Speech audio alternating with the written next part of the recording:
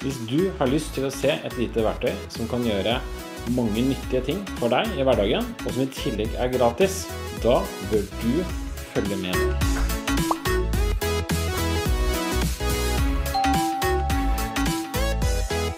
Hei og velkommen til dagens fredagstips. I dette tipset skal du få se på Windows utklippsverktøy. Med utklippsverktøyet kan du ta skjermdump av hele skjermen din, eller du kan lage små klipp fra f.eks. applikasjoner, dokumenter. Verktøy er enkelt å finne, veldig enkelt å bruke, så følg med nå. For å starte Windows utklippsverktøy går du enkelt ned på søkelinjen og skriver utklippsverktøy. Og da ser du at her har du et valg som heter utklippsverktøy. Ønsker du å bruke det flere ganger, så kan du også feste det til oppgavelinjen, slik at du eh, finner det der eh, etterpå, hvis du syns det er eh, et kjekt verktøy å bruke ofte. Og her har vi nå en litt forskjellig type valgmuligheter. Vi kan velge f.eks. å ta et bilde av hele skjermen.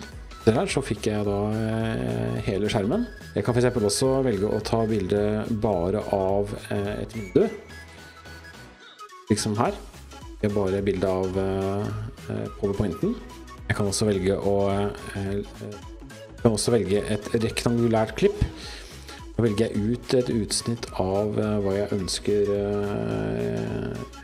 bildet av. Som du ser her, så fiksa han det ganske greit. Kan jeg velge å lagre dette som et uh, bilde. Her ser du jeg har klart å lage, lagre det bildet, og jeg kan egentlig få det opp. Klippe og lime inn bildet i andre applikasjoner. F.eks. Word. Kopier det fram Word-dokumentet og limer det inn. Jeg kan også velge det å sende det som et vedlegg på e-post. Og som du ser her da, så er det bare å skrive inn mottaker, og her ligger bildet klart som et vedlegg. En annen fin ting også som man kan bruke utklippsverktøy til, det er jo å kunne enkelt kommentere et dokument, et bilde eller annen ting som du har fått på e-post. Og her kan vi da velge å klippe ut litt tekst i, i dette dokumentet. Denne delen her.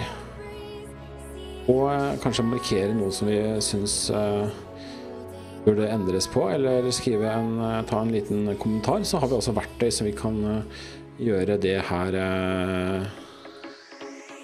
på utklippsverktøyet. Dette her kan jeg nå f.eks. lage inn i en i en e-post. Som du kanskje ser og skjønner, så er utgiftsverktøy en, en liten en lite program, men kan gjøre ganske stor nytte i hverdagen.